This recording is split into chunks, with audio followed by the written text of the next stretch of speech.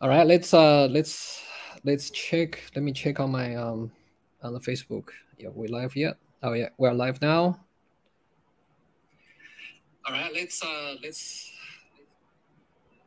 let me share on my um just give me a sec. Let me share it. All right, done. Good uh um good afternoon to my Aussie friends, and uh, good evening and good morning wherever you are.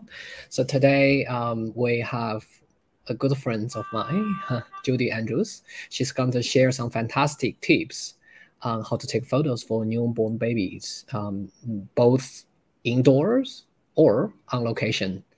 Uh, a little bit about her. She's um, she's three times Australian you know photographer of, uh, of the year in the row and she's also been in she's also been everywhere in the you know sony even sony annual events. Also she has been on channel 7 sharing her tips with uh, children photography. So can't wait. And uh, i'll um, can't wait for the presentation and leave jojo to talk about um, her, her information All right, so we'll get straight into it, I suppose. Um,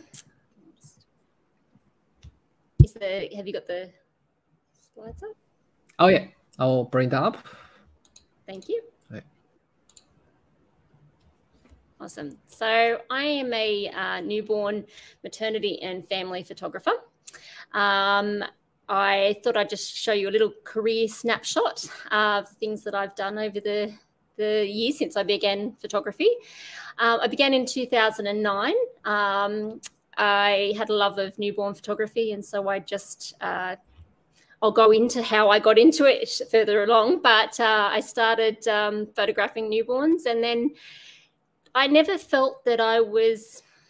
Um, because I hadn't didn't have an official degree, I didn't feel that I was good enough, um, and so I started entering competitions to sort of even though I had a very busy business, um, I still wanted to be respected by my peers and make sure that I was doing everything correctly. Um, so I started entering competitions.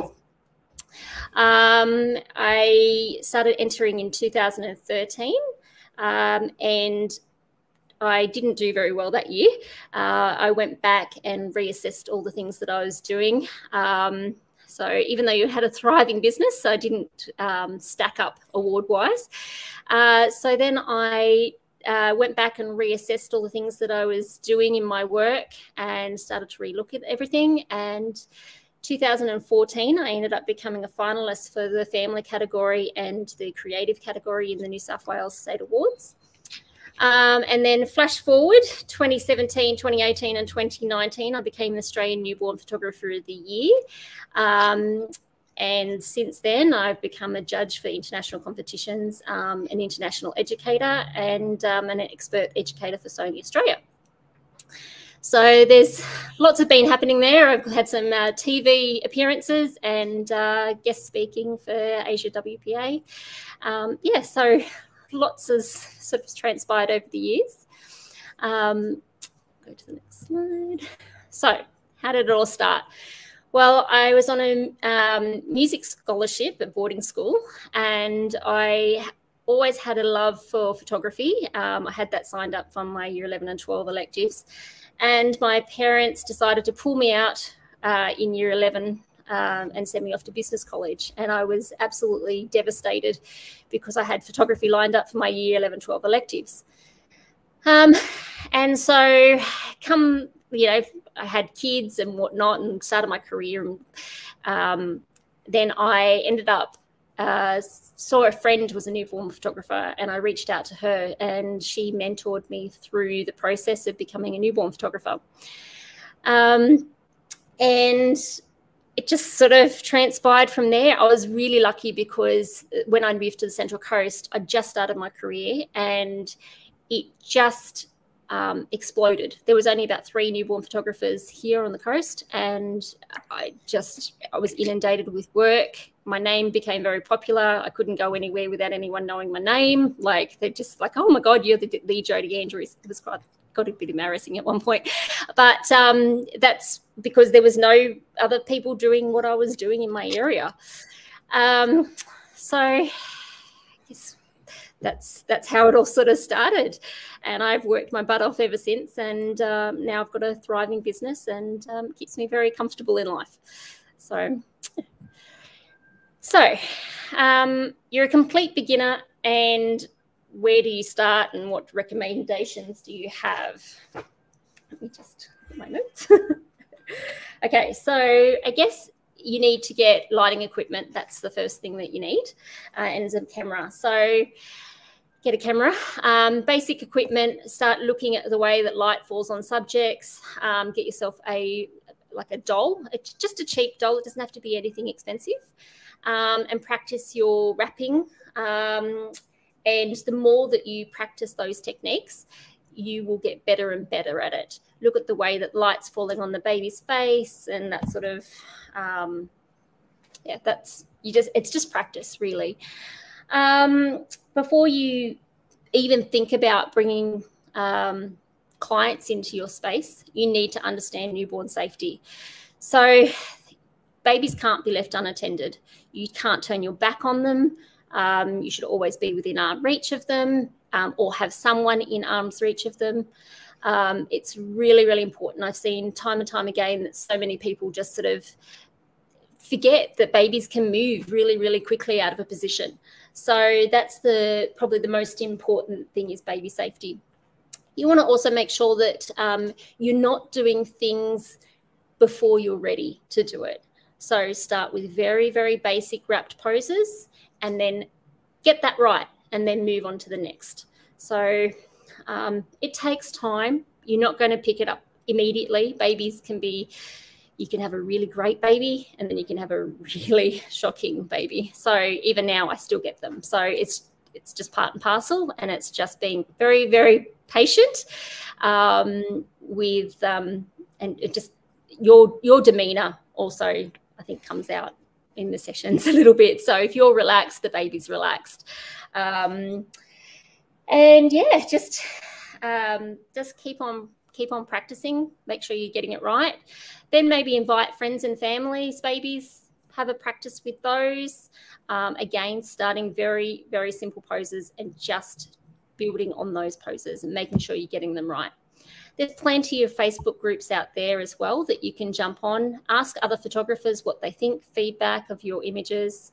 Um, and yeah, just just keep on practicing. There's plenty of photographers out there that is is um, able to to give you advice. Reach out to me if you want to. Um, I'm happy to help. I um, can be a bit busy, but I will reply to everyone. Um, so yeah, just just keep on keep on trying. So, all right. So now that you've got basis, someone's contacted you and said, I want to have a photo shoot. Now, the biggest thing that I learned when my parents pulled me out of school and I went off to business college, I learned that most of our, our photography side is running a business. It's not actually shooting. So you need to make sure you have the correct systems in place to be able to um, manage that business. Because like I said before, my business suddenly took off overnight and I didn't have the tools to manage it in place. It took a while, and uh, now my my um, systems is a well-oiled machine. So I have a, a, client management software that basically handles all my bookings for me automatically. Uh, it sends out quotes to clients based on the questions that they ask me. I don't do anything, um, and then it it has this workflow through it. So I've set all of those up in, in the background. So based on all those questions, it, will send them specific emails.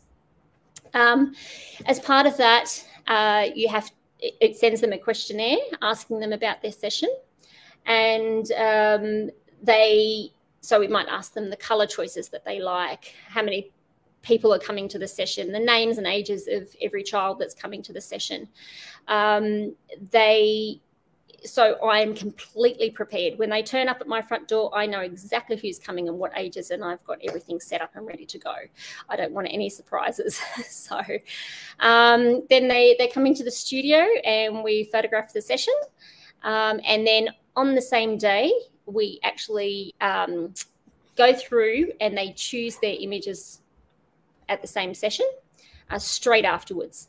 Now, the reason that I do that is because I have had many an image stolen over the years, and I, I just, I don't want my images stolen. So we we and but not only that, we also um, are able to do things a lot quicker. So by choosing them, I think I saved like a week or something by by choosing having the clients choose on the day. So you don't need any particular software to do it. I just use Lightroom and we just bring it all up on the screen and they go through and select. Now, the the best part about um, being able to do that is all my camera, all my lights look. Sorry, start that again. Because I use good lighting, my um, my photos look good straight out of camera. So I don't edit anything before they see it. I let them choose it exactly as it is, and I only edit what they choose. And that really does come to come down to good lighting and consistent lighting. Um, it's not changing all the time, so um, a lot of natural light photographers have to adjust things beforehand. Um, yeah, so it, it's it's just easier for me to do that. Um, and then I, after that, so the sneak peek that usually goes up on my Facebook page is 99% um, of the time one of the images that the clients have chosen. Um, and so again, I'm not wasting time editing something that's not purchased.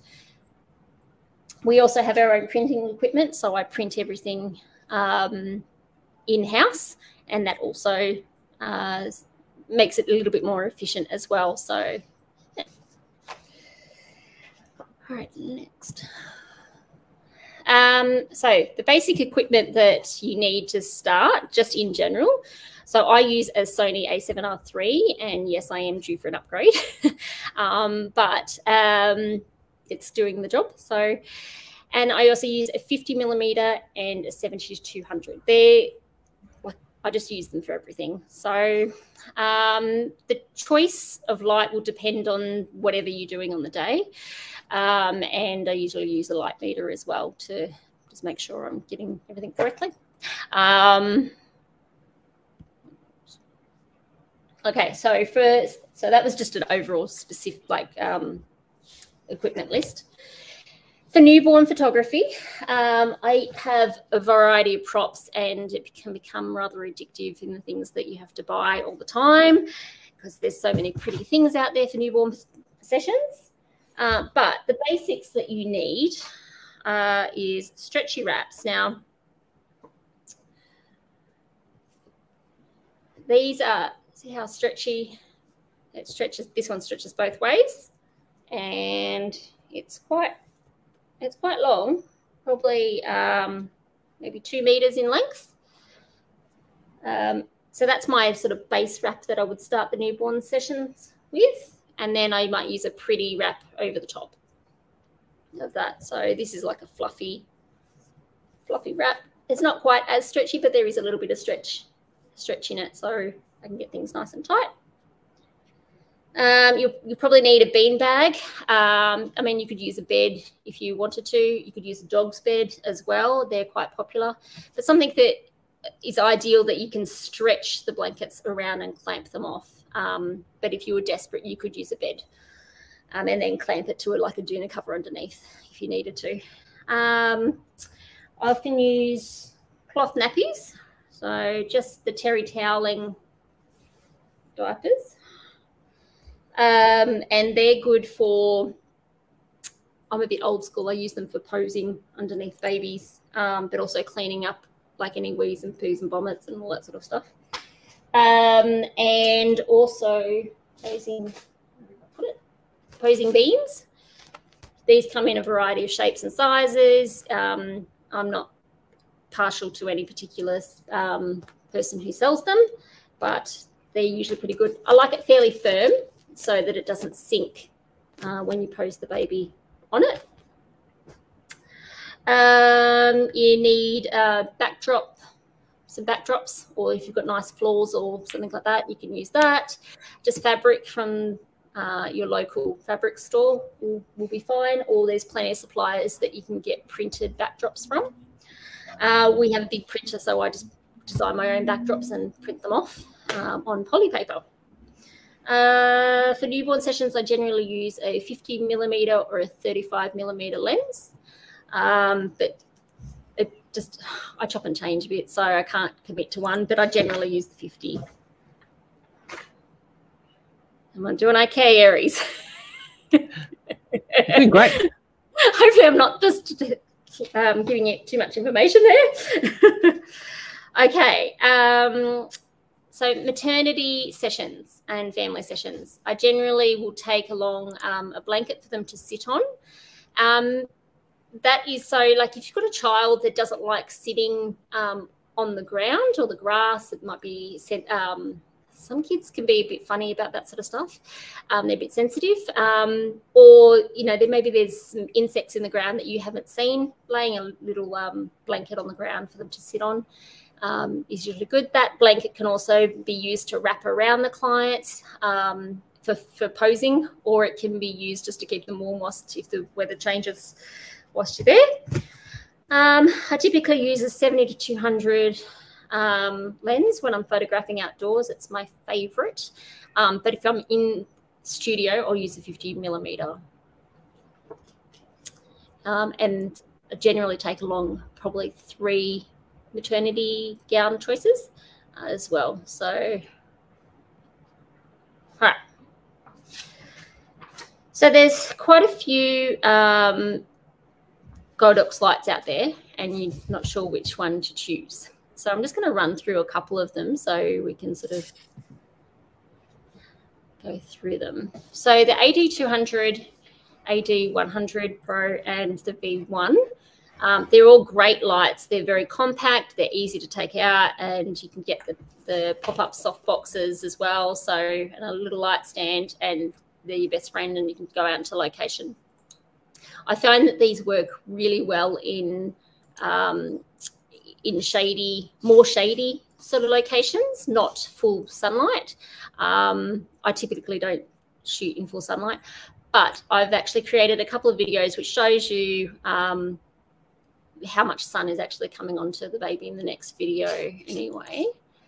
Um, but yes, they're great in terms of if you're photographing a wedding or anything like that as well, and you just want to just duck out into location and it's quite shady, you can just put a bit of light in there. Okay, so have you got the video there, Aries? Yes. Okay, so just before we do, so this is a. Um, you want me to play the video first? Not yet. Just okay. a second. Um, so this is a AD200 Pro. Um, it, we were in partial shade. The we, we, were meant to be in full shade, but the client turned up late, so it kind of uh, threw a bit of spin in the works. But we um, kept photographing, and it was fine, as you can see by the photos. Um, but it just gives you an example of you can see the lighting position as to where the baby is, and you can see how much sun is actually falling onto the baby as well. So you can hit play, Aries. Yep. Can I play now? Yep. Okay.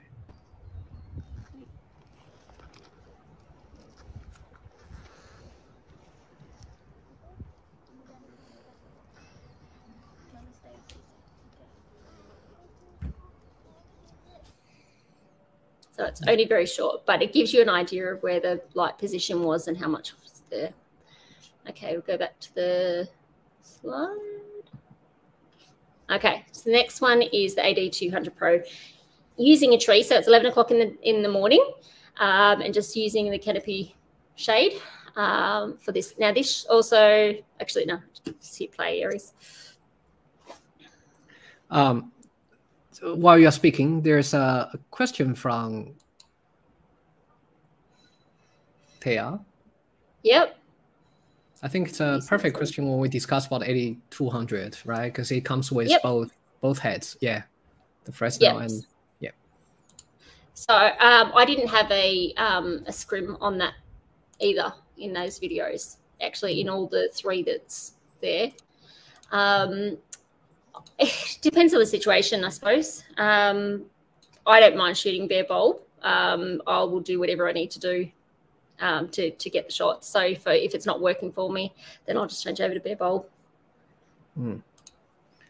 I um, personally I will go for I always go for bare bulb because um, if it's Fresnel, it's always designed for small modifiers. Does it make sense? Um, it the light is almost designed to go forward uh, with a certain direction rather than like a bare bulb. It goes almost like hundred degree kind yeah. of semi-sphere. Um, so theoretically, the uh, you will have some hotspots in the softbox with a Fresnel, and with bare bulb you wouldn't have such issue. That's um, um, my personal opinion, though. Just full disclaimer: I'm not a technical photographer either, so. no, just been answering too many of those kind of questions. Yeah, because yeah. Uh, Taya didn't say what that purpose is for, so I wouldn't. Yeah. Be, you know and how many diffusion are you using, right? If you yeah. use only one layer of diffusion with a softbox, uh, like lots of photographers do outdoors, uh, you will almost certainly have a, you know, have a hotspot. But if you're only mm. into, you know, if you have use double diffusion, even in theory, you have a hotspot. In, pract in practice, not so much. So it really depends, isn't it? It's just, it's not only about the the um, it, the softbox and the light. It's also about how you use the softbox too, right? Yep. Yep. Mm. All right, we'll go to the next one. Okay, so we'll hit play on this video. This one's a little bit longer, um, but you can sort of see me posing. Um,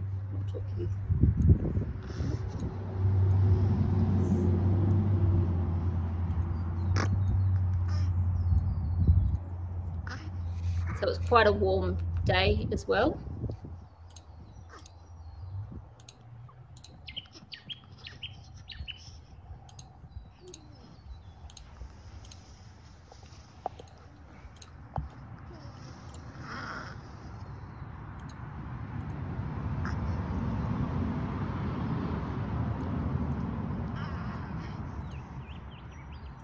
Love the so bird. in the this is my new property as well, so yeah. starting to get used to it. Um, sure. I didn't have the space to shoot outside before, which is this is nice. Mm. Um, so in the front of that bucket, I've actually got multiple of the the cloth nappies, these things, just all rolled up like snakes, and then just built up in the front. I probably needed one more in there, but I still made it work. Um, that didn't finish. Oh, sorry, that didn't finish? No. Oh, sorry. That's all right. Oh, yeah.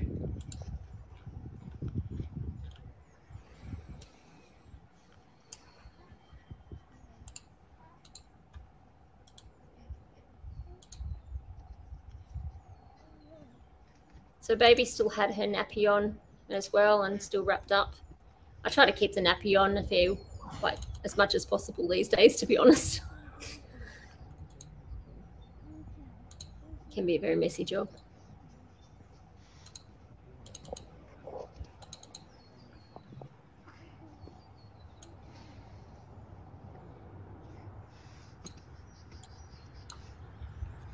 So I'm just pulling the stuffing out to make sure I'm getting it underneath her elbows.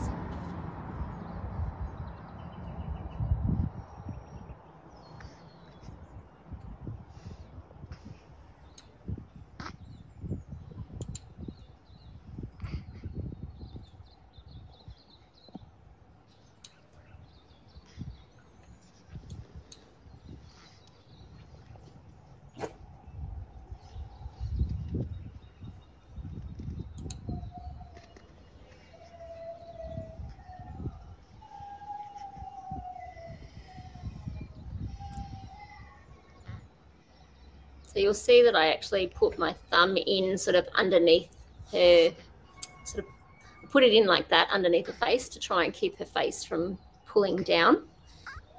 Um, fixing fingers. Good afternoon, Kojima-san. Uh, I have some friends here.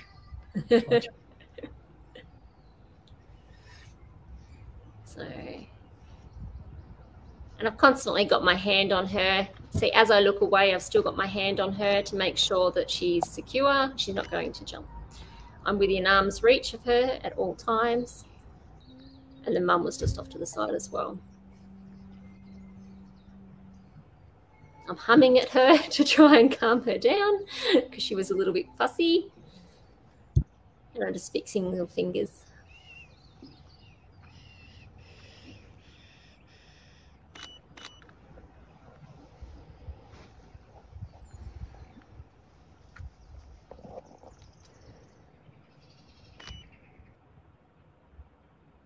That's it. We'll go to the next one. Uh,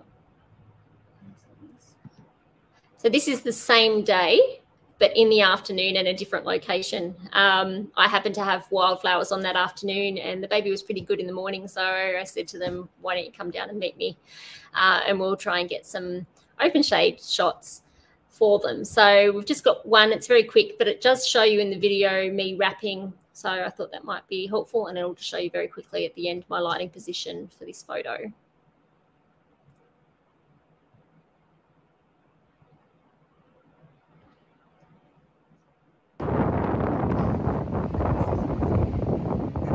So I was doing this very, very quickly because it was so, it was turned really cold. So I left baby like fully dressed and just wrapped over the top.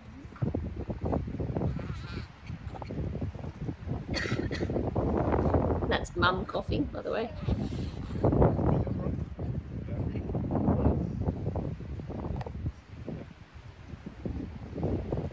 Just wrapping around the baby,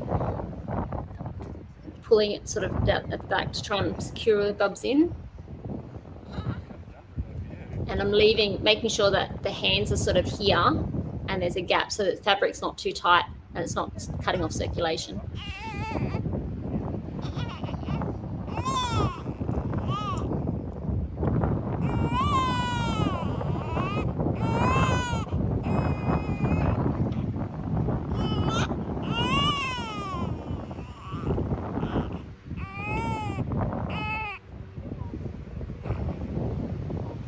Working with babies outdoors is um, not easy. They, I definitely prefer it inside the studio. so it's definitely the adding wind and the elements is definitely adds a um, extra challenge to it. But I do enjoy the end result.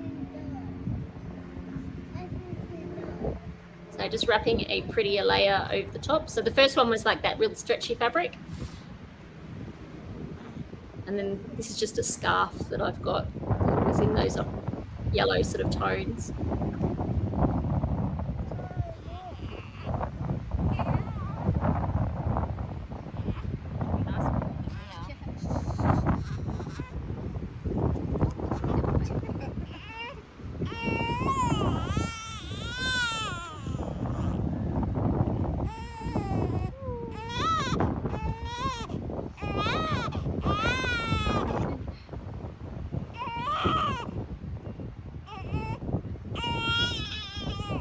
Drizzling because it's windy.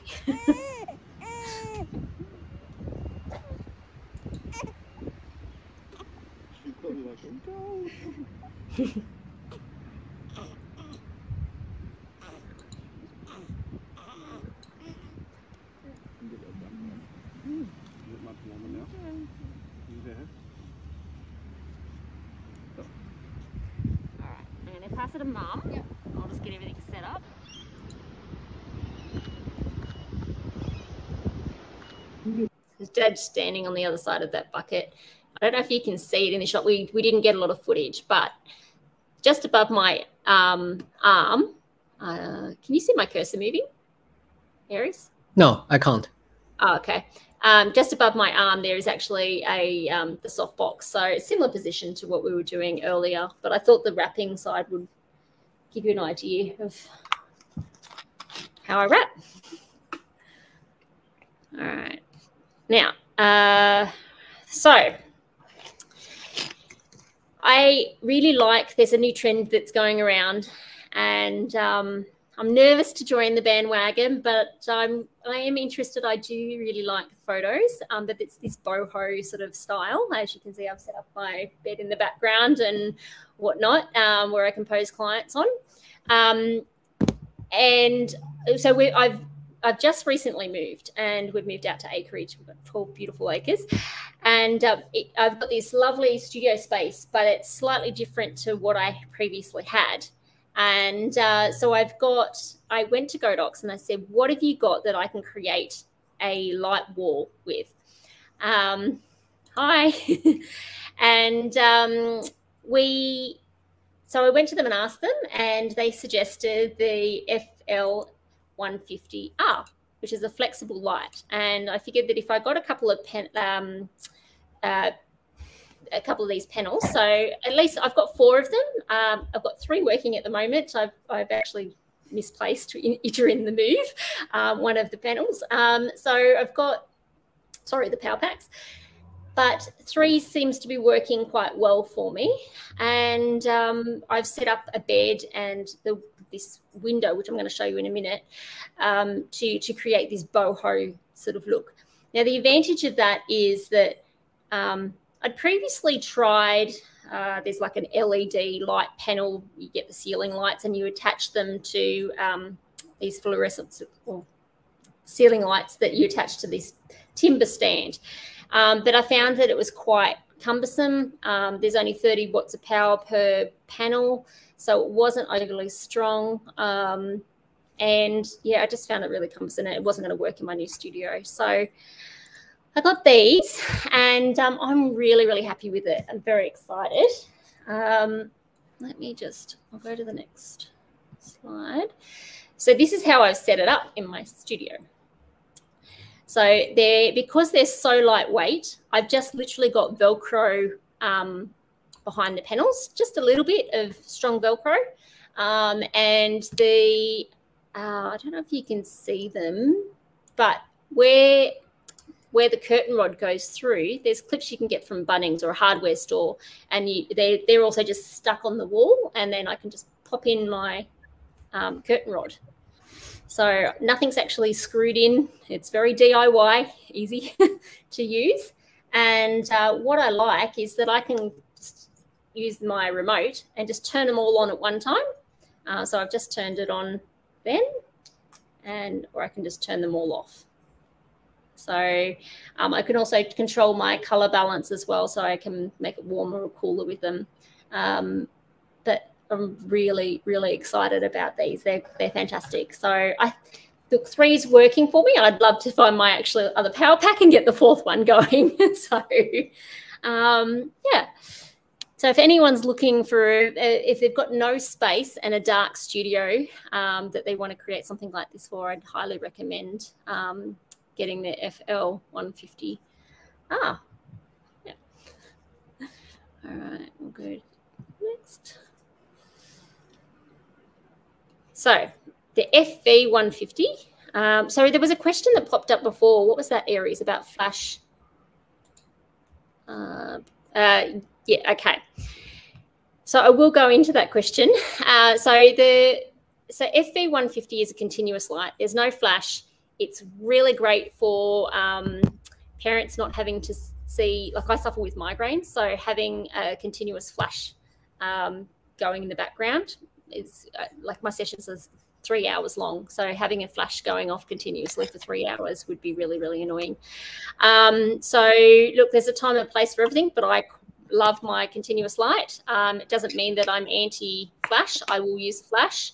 Um, it just depends on the circumstances. If there's a heap of um, people, um, like a lots lots of people attending, I might use change it over to be a flash because um, it's not quite as much power in the continuous light. But um, yeah, I for newborn photography, I really love the the 150 or the FV200, either either or. Um, and yeah, hopefully that that answers that. Um, but it's also great for um, people who are natural light photographers and they're just starting to get used to sort of making that transition to studio lighting um, because they can actually see where the light's falling really easily. What, you, what you see is what you get. All right, uh, so the AD600 Pro, um, I've also got that. I uh, started with that one actually before I used the continuous lights, but I thought I'd just touch on it really quickly. Um, it's a all battery operated. It's very portable. It's light. You can take it outside, um, and it's great for for fast moving toddlers. Um, so Christmas sessions where I I'm in a hurry and I've got lots of kids running around and I don't know how many people are coming in uh, let's say I might have one family might be two people and the next family might be six. So I'm just going to use my AD600 Pro for that. Um, and yeah, uh, so if I've got a child that is not cooperating, um, I might use the trigger on the camera just to get them to um, engage with me. So I'll it's make it like a game. So I get them to push the trigger on the camera, it flashes, and I'm like, okay, my turn, and then I have a go, um, and that's when I get that shot, and then I'll go back and let them have another turn. So it's a reward system. So and and sharing. Um, so it kind of be a little bit fun. All right. So next we've got a couple of little videos of just my lighting placement um, in terms of positions. So most of my beanbag shots, it's set up the same way.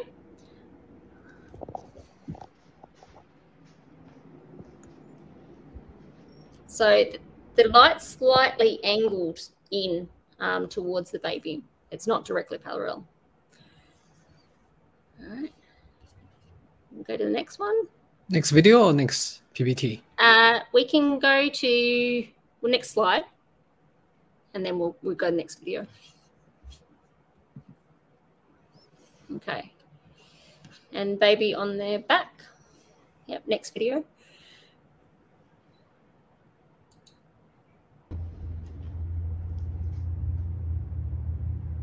So with the posing doll, it doesn't turn its head quite the same way, but that's basically the angle that I would have, might tilt it more, um, coming down the baby a little bit, little bit more, um, if depending on where the head head is. So you've just got to start watching your lighting and adjust accordingly.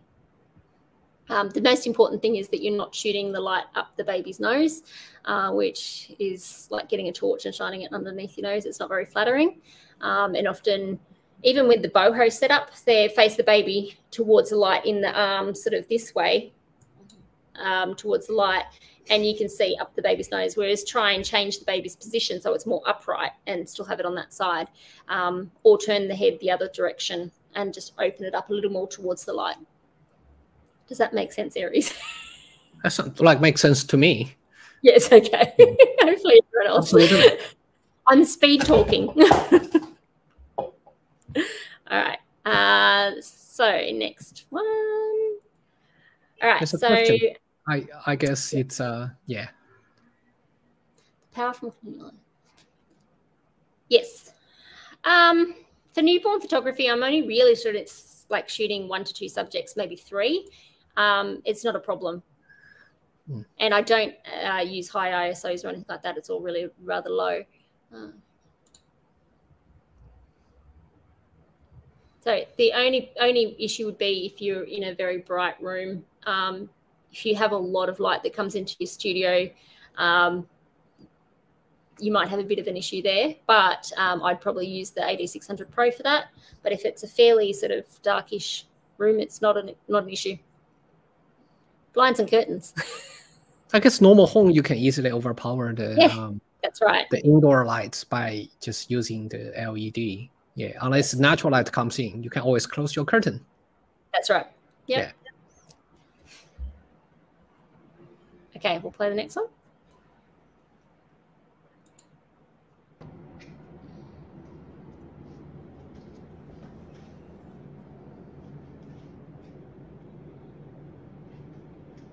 So it's just sort of feathering across across the baby in that shot. And so, yeah, um, and I have that, I use that same position if I was doing any sitting uh, sitting sessions um, or cake smash sessions, it's typically that, that angle that I would use.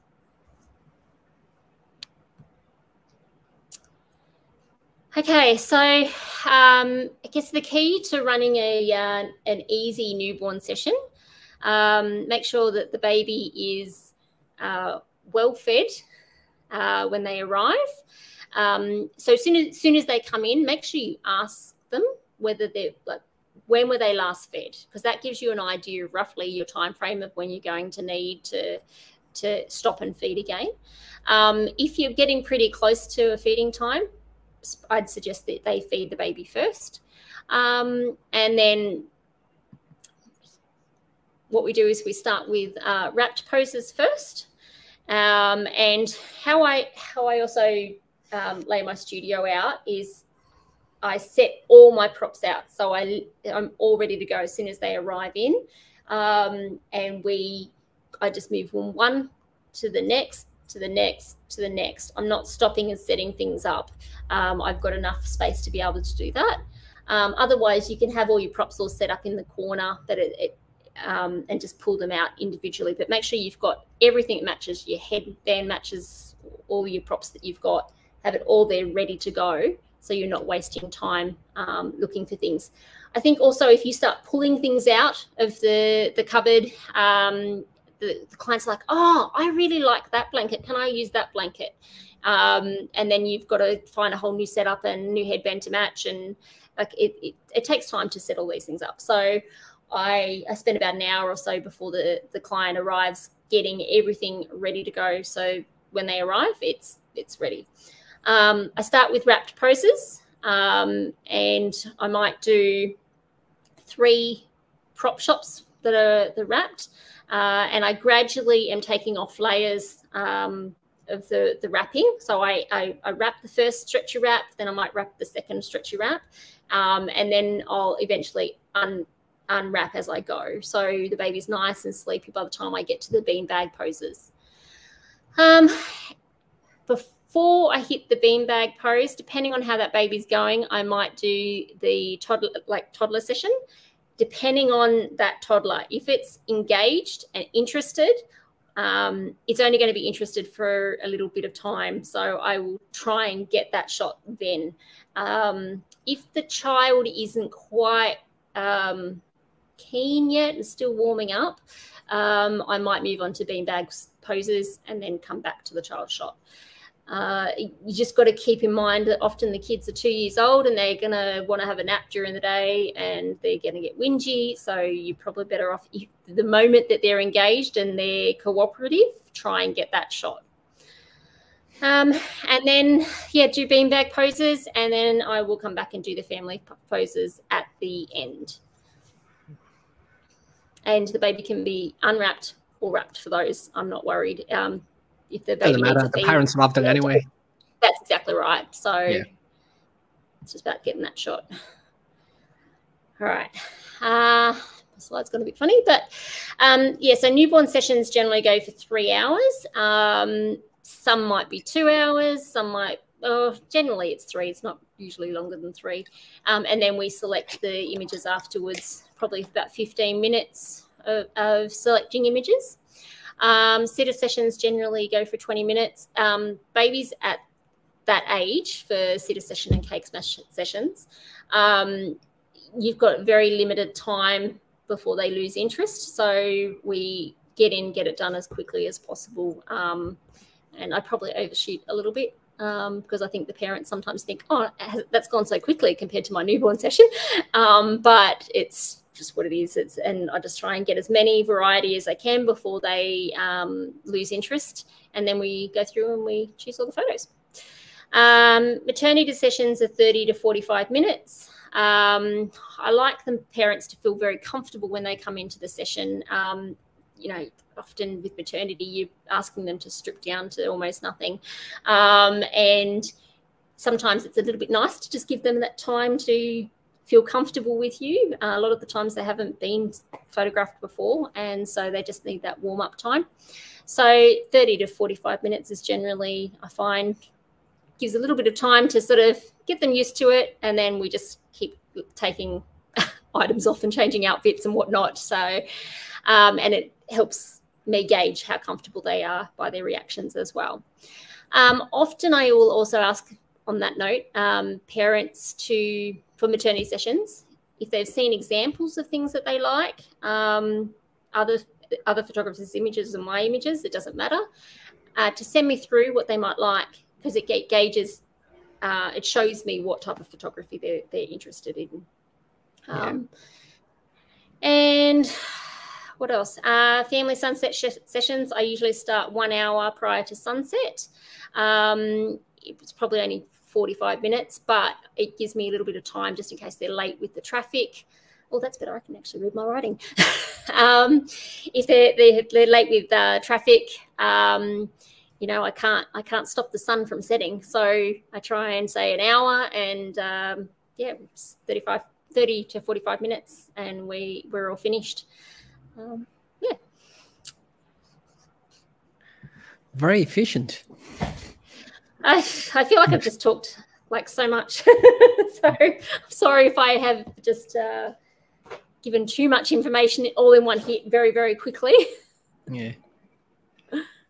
All right. Um, so I think we have already already pretty much answered all the questions during the session because most of the yep. questions are very tightly relevant with the slides. So guys, yep. if you uh, just follow Jodie um, on her Instagram, that will be Jodie Andrews Photography, right? Just follow her on her Instagram. If you have any question, or DM her, like, you know, uh, she will get back to you. She's quite busy, obviously, during the day as a full-time newborn photographer, but she will get back to you whenever she's back to her computer. If there's no more question, um, thank you so much. And uh, this is Aristotle. I will see you guys um, in the next broadcast. Bye. Awesome. Thank you. Bye.